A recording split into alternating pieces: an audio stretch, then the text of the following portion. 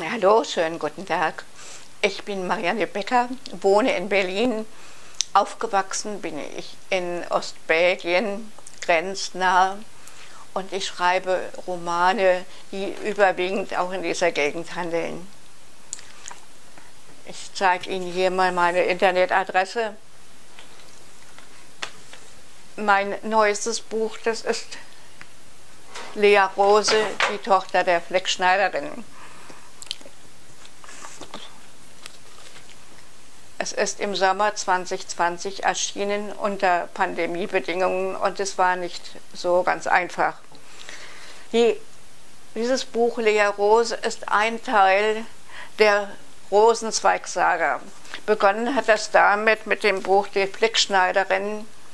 Die Flickschneiderin ist Anna aus Ostbelgien, die als junge Frau in die Eifel in einen jüdischen Haushalt als Fleckschneiderin gegangen ist. Das nächste Buch dazu ist das Thema Die Baumwollfarmerin. Die Baumwollfarmerin ist eine Großtante der Lea, die im nächsten Buch behandelt wird. Lea Rose, die Tochter der Fleckschneiderin. Und daraus möchte ich Ihnen jetzt ein bisschen was vorlesen. Und zwar ein Kapitel, das in der Eifel handelt und genau dort, wo die Anna damals als Fleckschneiderin tätig war.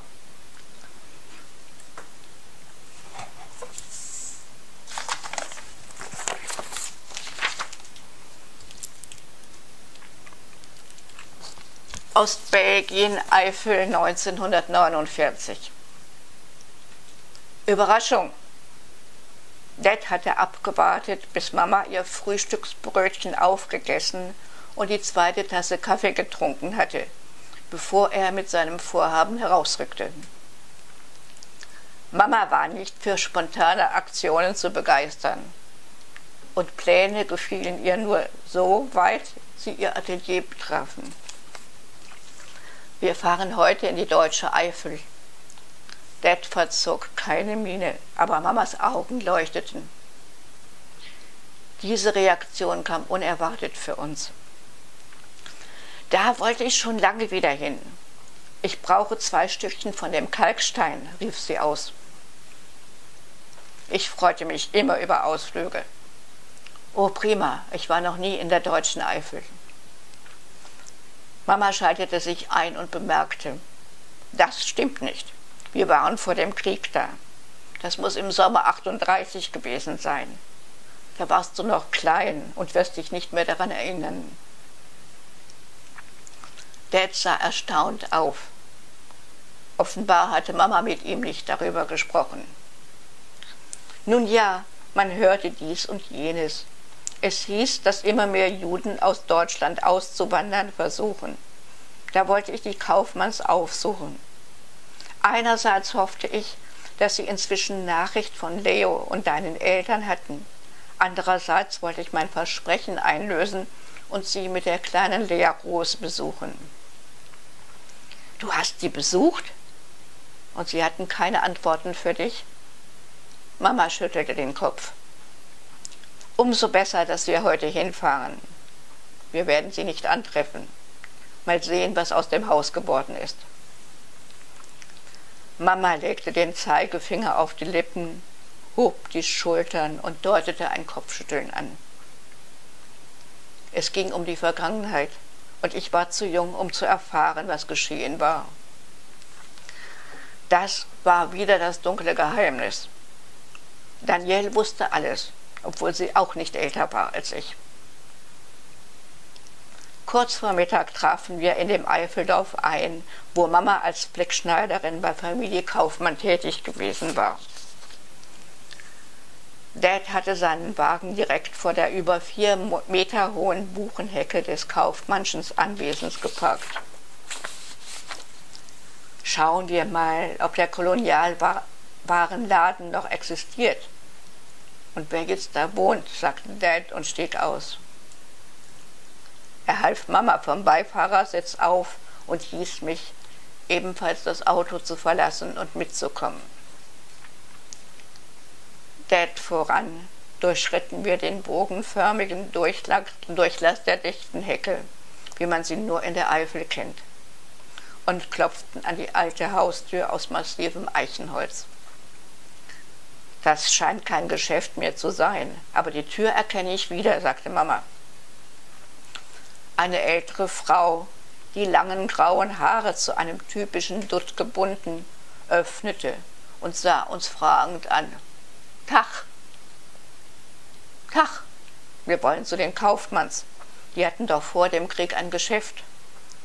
Ja, die sind nämlich he. Was wollt ihr denn von denen? Dabei sah sie Mama prüfend an, blickte zu mir rüber und schüttelte den Kopf. Best du dat Anna, dat firm Kräsch gewerkt hätt, an der Nähe im Pschinn. Mama zögerte einen Moment, so wie sie es immer tat, wenn sie unsicher war. Dann sagte sie, und Sie sind die Frau Bürgermeister. Ihre Stimme habe ich sofort erkannt. Ich merkte, dass Mama schwindelte und ich hätte am liebsten gegrinst. Die Frau sah aus wie eine alte Hexe. Eine, die schön tat, um die Kinder in den Wald zu locken und dort zu braten. Bevor die Frau reagieren konnte, riss Dett das Gespräch an sich. An mich erinnern Sie sich bestimmt auch. Ich bin Arthur, der Neffe von den Kaufmanns. Und das ist Lea Roos, unsere Tochter. Die Frau Bürgermeister schnappte nach Luft wie ein Fisch. Arthur, dann ist das wirklich Spur, dass du das Anna gehirot hast in Amerika gegangen bist. Ich habe nicht löwen wollen. Wie immer, wenn ich den Mund halten sollte, presste Mama meine Hand fest zusammen, als wollte sie mir die Finger brechen. Dad ließ die Vermutung der Frau im Raum stehen, sodass sie sich bestätigt fühlen musste. Wohnen Sie hier im Haus? nahm Dad den Faden wieder auf. Seine Tonlage hatte sich ein klein wenig verschoben. Er verlangte eine Antwort, und zwar sofort. Erschrocken wechselte die Frau ins Hochdeutsche. Tja, die Kaufmanns, die sind ja weggekommen. Sie waren nicht mehr sicher hier. Da hat unser Gauleiter dafür gesorgt, dass sie in den Osten kommen, wo Unterkunft und Arbeit auf sie wartete. Das war auch besser für sie, nur ihre, unter ihresgleichen zu sein. Obwohl ich die Löffel spitzte, verstand ich nicht genau, was da vor sich ging. Mama hatte hier gearbeitet und meinen leiblichen Vater kennengelernt. Aber das Haus hatte den Kaufmanns und nicht den Rosenzweigs gehört. Und warum hatten die Kaufmanns wegziehen müssen? Und was hatte Dad damit zu tun? Dad sah der Frau ein paar Sekunden in die Augen, während sich seine Miene verhärtete. Offensichtlich fürchtete die Frau sich vor ihm, der in der Uniform eines US-Army einschüchternd wirkte. Und jetzt wohnen Sie hier. Sie nickte gehorsam. Die Frau Kaufmann hat mir die Schlüssel gegeben. Ich sollte aufpassen auf ihre Möbel und so. Im Keller steht nur ein Karton. Den sollte ich aufbewahren. Für den Fall, dass Sie nicht zurückkommen, soll ich ihn der Anna geben. Frau Kaufmann meinte, die Anna käme bestimmt mal wieder. Der Krieg ist vorbei. Sie wohnen immer noch hier. Haben Sie sich nicht gefragt, warum die Kaufmanns nicht wieder zurück sind? Frau Bürgermeister stammelte. Was sollte ich denn machen? Mein Mann ist der Bürgermeister. Der hat gesagt, dass das Haus jetzt uns gehört. Wir waren ja immer treue Kunden der Kaufmanns. Es heißt ja, von denen käme keiner mehr zurück. Warten Sie einen Moment, ich hole den Karton rauf. Ich hätte gerne gefragt, woher sie das wusste und warum sie uns nicht ins Haus bat, wie es sich gehörte. Aber Mama drückte meine Hand fester. Ich durfte nichts sagen. Die Frau hatte nicht lange suchen müssen, denn schon fünf Minuten später stand sie wieder in der Tür, den kleinen Karton unter dem Arm geklemmt. Da, Anna, nimm ihn mit. Ich bin froh, dass er aus dem Haus ist. Ihnen ist schon klar, dass Sie nicht die rechtmäßigen Besitzer des Hauses sind. Dad kannte sich aus. Uns wurde gesagt, dass die verlassenen Häuser bewohnt werden müssen und nach einer gewissen Zeit in unser Eigentum übergehen. Frau Bürgermeisters Stimme klang wenig überzeugend. Dad bohrte weiter. Wie sieht es denn mit dem Grundbucheintrag aus? Sind Sie darin als Eigentümer vermerkt? Die Frau trat von einem Fuß auf den anderen hatte ihren schlaffen Körper an die Türzagen gelehnt und sagte mit gesenkter Stimme, das war für nach dem Endsieg vorgesehen. Für diese Bürokratie war damals keine Zeit. Also nein, resümierte Dad. Das Haus ist Eigentum der Erben der Familie Kaufmann. Erben, was denn für Erben? Die taubstumme Tochter und der kleine Junge, die waren doch erbkrank. Die sind in ein Heim gekommen. Und die alten Kaufmanns. Frau Bürgermeister wühlte in den Taschen ihrer Kittelschürze, als suchte sie dort nach weiteren Argumenten zur Rechtfertigung. Mein Mann ist im Gemeindebüro, den könnt ihr ja mal fragen, der weiß besser Bescheid als ich.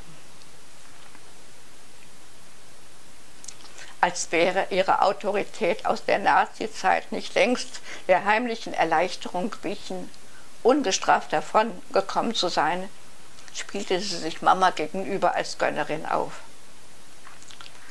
Wenn wir uns gütlich einigen, könnte ich dir ein paar lukrative Aufträge zuschustern. Dad biss sich auf die Lippen.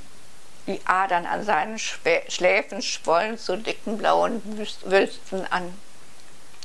Er atmete tief ein und aus, straffte sich und trat einen Schritt auf Frau Bürgermeister zu.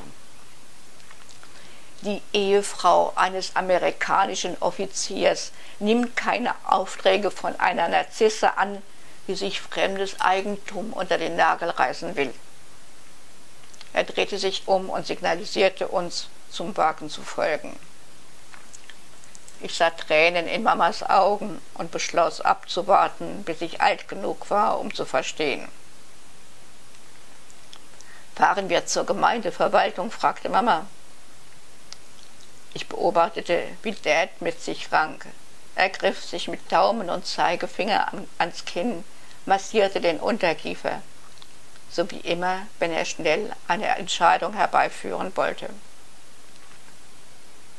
Wir hätten die wenigen hundert Meter laufen können, aber Dad entschied, mit dem Auto vorzufahren und es direkt vor dem Eingang der Gemeindeverwaltung zu parken. Unser Blick fiel auf den Schaukasten neben der Tür.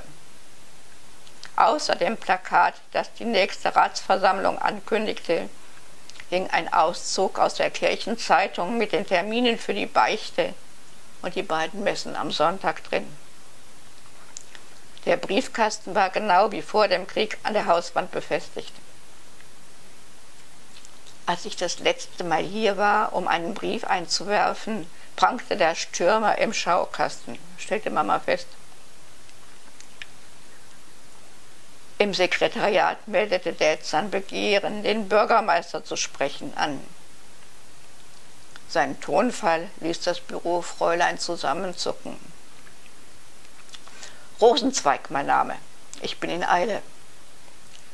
Behende erhob sich die in einen engen, das Hinterteil betonenden schwarzen Rock gezwängte Dame von ihrem Stuhl. Riss die Tür zum Amtsraum des Bürgermeisters auf. Ohne abzuwarten folgten wir ihr, nachdem Dad uns per Handzeichen dazu aufgefordert hatte. Der Bürgermeister schloss rasch den mittleren Knopf seines Jacketts und sah uns mit offenem Mund an. Herr Rosenzweig, Kennen wir uns?